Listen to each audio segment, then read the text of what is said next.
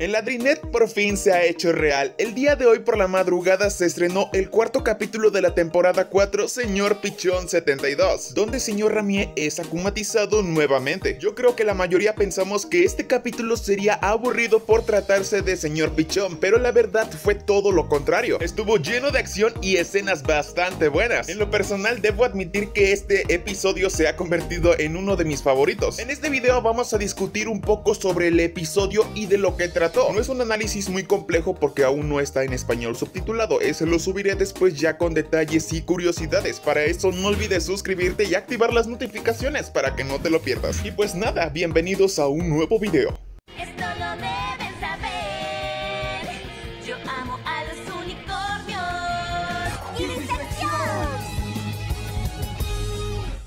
Básicamente al inicio del capítulo vimos todo lo que nosotros ya queríamos ver, cómo es la relación entre Alia y Ladybug y Marinette ahora que sabe su identidad. Algo que da bastante risa es que podemos ver a Ladybug con una bata. Y bueno, como podemos ver tienen un mapa, al parecer están localizando los acumatizados de donde provienen los akumas para ubicar la localización y encontrar a Shadow Mode. Entre ellos se encuentra Señor Pichón que Alia y Ladybug se sorprende de tantas acumatizaciones que ha tenido este hombre. Durante las primeras escenas podemos ver que Ladybug o Marinette está muy alterada de no poder descifrar las señales del Grimorio. Claro, ¿cómo no se va a estresar si yo me estreso con tanta tarea que tengo? Ladybug se va a estresar con una hoja que tiene números muy extraños. Entre tanto podemos ver varias porciones como las que vimos en el episodio de Sirena. Y también podemos ver que Alia se encuentra un poco desesperada de no poder ayudar a Ladybug. Luego Ladybug encuentra una mezcla correcta y la coloca, cosa que provoca un estallido que sus padres escuchan. Pero yo me pregunto por qué Sabine y Tom no van a ver qué ocurre en su habitación. Al parecer el estallido estuvo muy fuerte porque podemos ver a Ladybug con las patas arriba y mucho humo. Algo que me encantó del episodio que ahora que Alia sabe quién es Ladybug, los Kwamis tienen la libertad de estar afuera sin preocuparse de Alia. Como por ejemplo Trix que ya está familiarizado con Alia, ya que como sabemos ella es la portadora del zorro. Bueno, enseguida de esto Alia va junto a Ladybug para que no se estrese, como diciéndole que no se precipite para las cosas, hay más tiempo. Pero Marinette está empeñada por terminar las cosas, tanto que le dice algo como no, tengo que terminar Alia. También podemos ver otra de las creaciones de Marinette, quien entra a su habitación les caerá un costal encima, obviamente para que no descubran luego luego. Luego Ladybug crea un estallido por segunda vez, el cual otra vez sus padres no van a ver qué es lo que pasa con ella. O sea, pues no, vean tremendo azotón que dieron los papás de Marinette.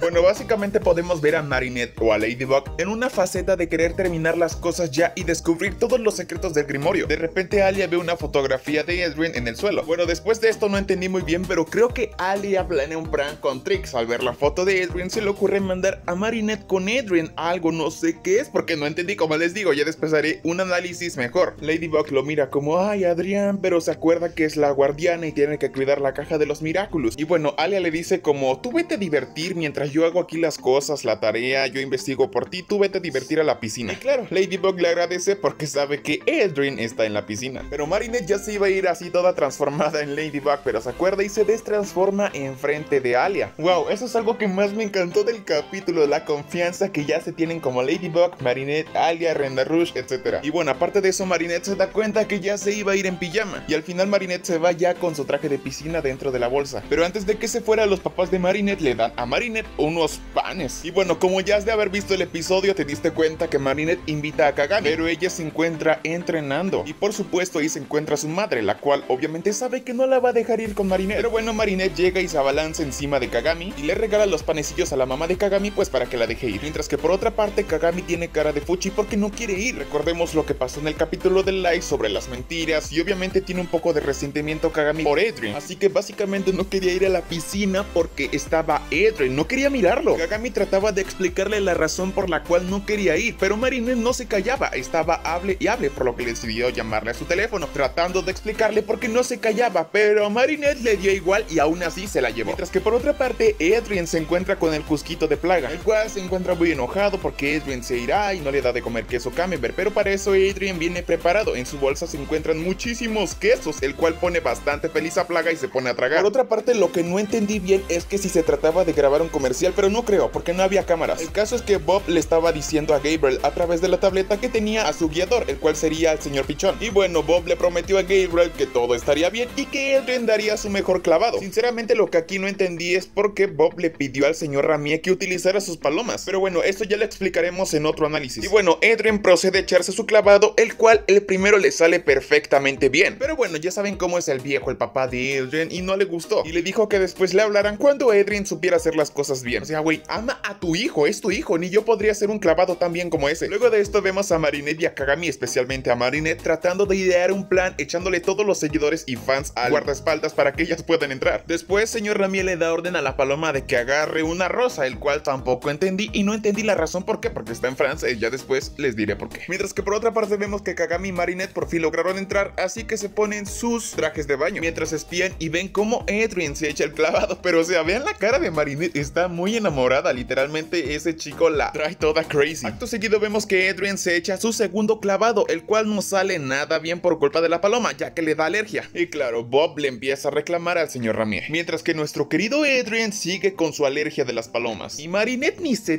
sigue loquísima por él. Y bueno, solo vean la cara de Kagami para ver lo que trata de decir. Al parecer creo que aquí Marinette no sabe lo que ha pasado con Kagami y Adrian. Creo que Marinette aquí le está diciendo que se quiere acercar a Adrian ahí a la piscina, pero ella le insiste que no, porque no quiere verle la cara, pero Marinette no sabe escuchar. Tan solo vean la cara de Kagami, lo dice todo que no quiere estar para nada cerca de Adrian. Enseguida de esto, Bob le da un tapador de nariz al parecer a Adrian, obviamente para que no huela el olor de las plumas ni le dé alergia. Enseguida de esto vemos que Adrian se echa su tercer clavado, donde vemos que Adrian se distrae y cae de panzazo. Todo esto porque Adrian ve a Marinette y a Kagami, es que, o sea, Marinette está obligando literalmente a Kagami a que vea a Adrian. Y Kagami tipo, suéltame perra, no lo quiero ver. Adrian sale de la piscina y dice que ha visto dos chicas, pero a Bob no le importa y lo manda otra vez al salto para dar otro clavado. Luego podemos ver el cuarto clavado de Adrian, donde Marinette a fuerzas quiere ver a Adrian forcejeándose con Kagami y se suelta y choca con Adrian y ambos caen a la piscina. Y sinceramente con esto puedo decir que tenemos la primera escena Adrinet del episodio Señor Pichón 72, ya que ambos se miran fijamente a los ojos sin miedo a caer al agua. ¿Quién fuera esa paloma para sentir el cuerpo de Adrian? Ah, no se crean, no se crean. El caso aquí es que la paloma se cae al agua junto con los dos.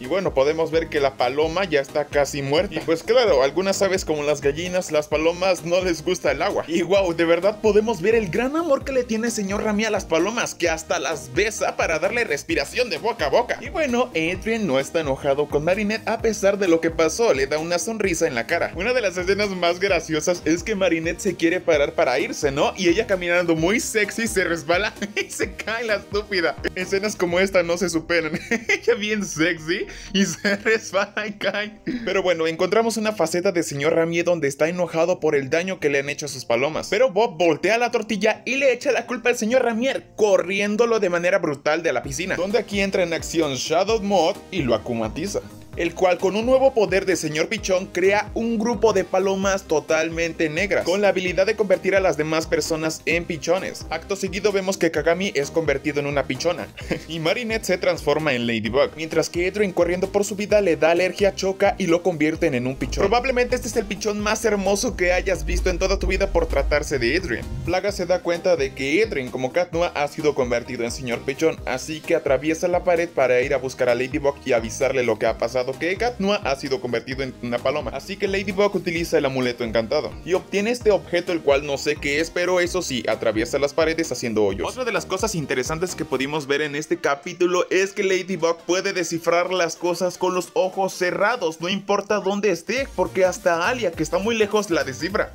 Acto seguido vemos a Alia en el cuarto de Marinette y vemos que el cuarto de Marinette es un desastre total. Pero a pesar de todo hay buenas noticias, ya que Alia ha descubierto el nuevo poder de Ladybug. Luego Alia recibe la llamada de Ladybug pidiéndole ayuda que utilice el Miraculous de la ilusión. Luego vemos que Alia se acerca a la caja donde están los Miraculous y ya se sabe el código y saca el Miraculous de Trix y se transforma en Rena Rouge. Y al mismo tiempo crea la ilusión de los superhéroes Ladybug y Cat Noir para distraer a Señor Pichón y a Shatomo también otra cosa que también descubrimos es que Rena Rush puede controlar lo que dice su ilusión. Ladybug le da órdenes a Rena Rush para que Rena Rush lo repita y sus ilusiones lo digan. Enseguida de esto vemos que Plaga se mete en la piscina, especialmente debajo del agua, todo esto para llevar a cabo un plan. Otra de las escenas bastante buenas es cuando las ilusiones de Rena Rush se quitan los Miraculous y cuando supuestamente se destransforman y supuestamente ellos son los portadores de Miraculous, o sea, de verdad Rena Rush se pasó con esta ilusión y los animadores al ser los sellos como los partadores. Se ven muy graciosos, la verdad me encantó esta escena. Y el iluso de Shadow Mod se la come toda. Luego las ilusiones lanzan los Miraculous contra la piscina, donde señor Pichón se lanza a la piscina por los Miraculous, pero Plaga se le atraviesa y le quita el chiflador del objeto acumatizado. Y todo vuelve a la normalidad y Shadow Mod se da cuenta que todo fue una grandiosa ilusión y grita.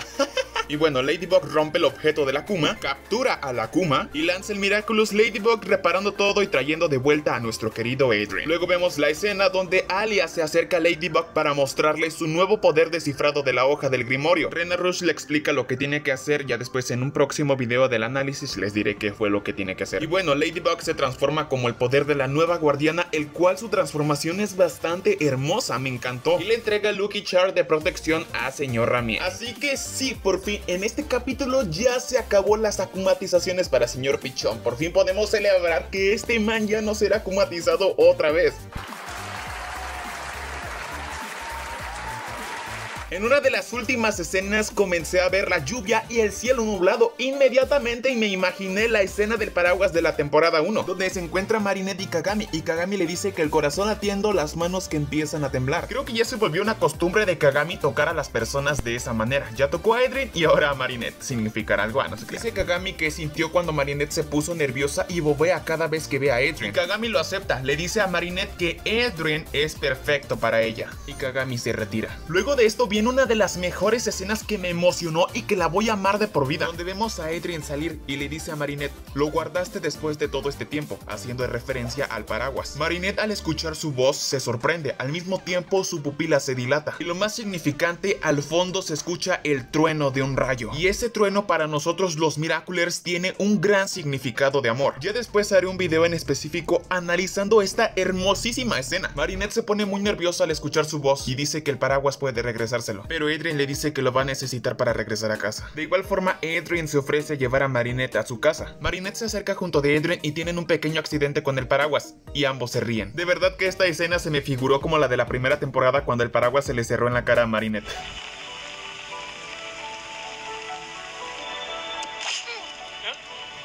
De verdad me encanta que Marinette ya ha tenido un gran avance en su madurez, ya no le da tanto miedo decirle las cosas a Edrien, incluso en esta escena le propuso caminar juntos con el paraguas. Y de verdad que es un gran avance por parte de Marinette y Edrien iba a decir que sí, se iba a ir con ella, pero si no fuera por sus guardaespaldas que tiene que llevarlo en el auto. Edrien le dice que no puede porque tiene clases de chino, además de que su padre es muy estricto. Y le dice que se ven en la escuela hasta el día de mañana. Adrien se va a su auto, pero por estar distraído viendo a Marinette se da un golpe en la cabeza. Adrien se puso nervioso con Marinette y por eso se pegó en la cabeza. Es posible que por fin se haya dado el primer toque de amor entre estos dos. Incluso los dos se ríen de una manera muy coqueta y Adrien también. Ay, de verdad que amo este ship. Amo el Adrinet. Viva el Adrinet. Coméntame aquí abajo que viva el Adrinet. Y bueno, Kagami mientras los miraba de lejos dijo, están hechos el uno para el otro. Kagami se convirtió en el nuevo maestro y bueno, Marinette se va muy feliz porque sabe que hubo una chispa entre ellos dos en ese momento. Porque vean la felicidad que hasta brinca esta niña. Así que la vida no es esperar a que la tormenta pase, sino aprender a bailar bajo la lluvia. Y así finaliza este hermoso capítulo. De verdad debo admitir que es otro de mis capítulos favoritos. Me ha encantado bastante. Nuevos poderes de Ladybug, nuevos secretos, cosas nuevas que vimos en este capítulo y otra escena más hermosa de Ladrinet. Coméntame aquí abajo en los comentarios cuánto calificas este capítulo del 1 al 10. Yo le doy un 10 porque me encantó y la escena de Ladrinet, uff, la amé. Dale like a este video y si eres nuevo por aquí y te gusta todo sobre Miraculous, enterarte de las noticias, actualizaciones, todo, no olvides suscribirte y activar las notificaciones para que no te pierdas ningún video. Se vienen muchos más videos interesantes para el canal, chicos, así que estén pendientes. Sin más que decir, nos vemos en el próximo video. ¡Adiós!